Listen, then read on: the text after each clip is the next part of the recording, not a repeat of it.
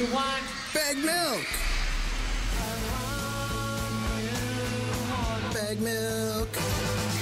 Baggedmilk. Oh, I swear. Oh, Baggedmilk. And I'm hungry like Bag milk. It's a Wednesday, so we always chat with Baggedmilk from Oilers Nation. Just getting back from the latest Nation vacation. You were in Arizona. What would, what town is the rink in? Baggedmilk? Tempe.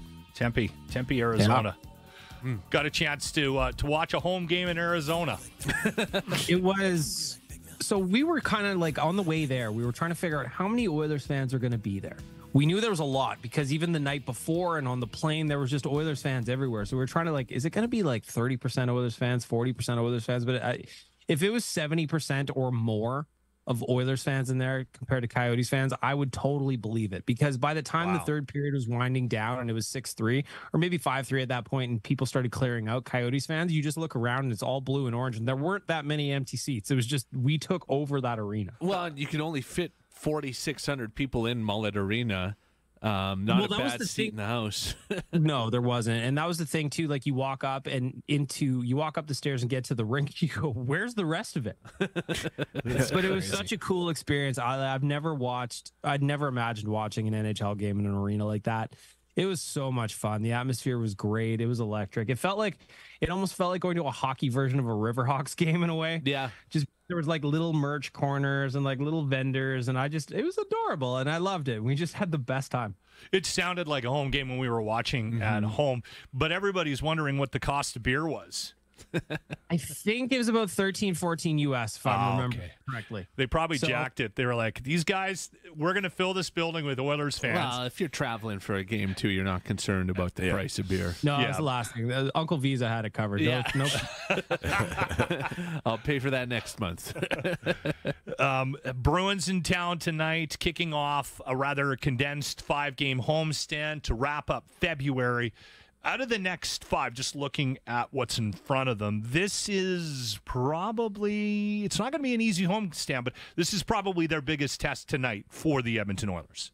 Without, I mean, the Bruins are the Bruins. They're good again Yeah. this year. Here's the thing, too, is we're sitting there at the game on Monday in Arizona.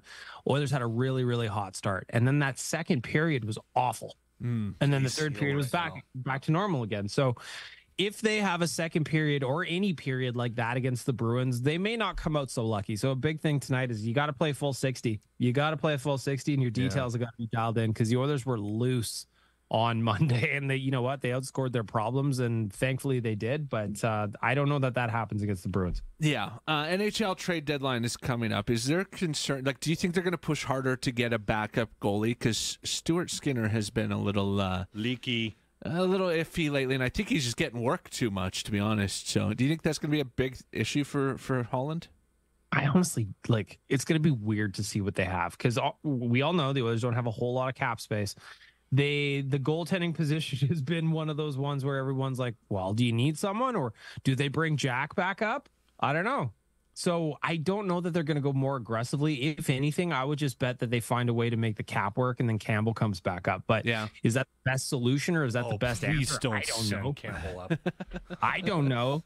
I just feel like they're not going to trade assets for another goalie when they have one they're paying five million bucks to hang out Yeah. in Baker. That's a good point, though. We forgot about Campbell. Campbell's He's sitting been there down there riding the bus, and on yeah, the on the lamb. Yeah, yeah. Uh, Jimmy, Yeah. you wanted to to bounce something off of. Uh, Uh, game day this weekend. Uh, is there still tickets available at Greta?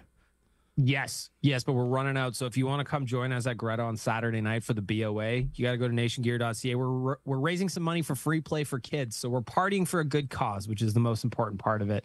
But yeah, there's still some tickets available under the events tab at nationgear.ca.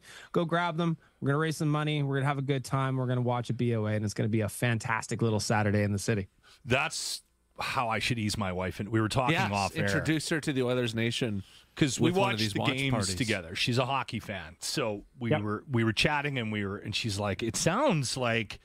Like look at all the Oilers fans down there, and then I was explaining the the Nation vacation, Oilers Nation, and that you guys were down there and that you do these trips. And she goes, "We should do one of those." And I was like, Absolutely should. uh, I was like, I don't know if like that might be a little more than she A little much for your wife. It's a shift. It's, one, of my favorite moments, one of my favorite moments of the trip was we didn't even get to the hotel before we made the bus driver stop at a liquor store. we were stocked up for the weekend before we even got to the hotel. So that was just kind of the the table was set for an amazing weekend from the time we I- got off the bus. I once went skiing with the Oilers Nation and didn't see the ski hill. That is true. Yeah, I don't know that I your don't know guys. if your wife. Well, she's used to her in. a little debauchery. Yes. Just you gotta you, you gotta ease it in, right? Like you gotta just make sure that it, she's aware of what it is. So that might Yeah, be maybe. the thing I do on Saturday. All right, Baggedmilk Oilers Nation. Thank you for your time today. Thanks, boys. The Locker Room for Arden Roof Systems. Weekday mornings on 95.7 CRUZ FM.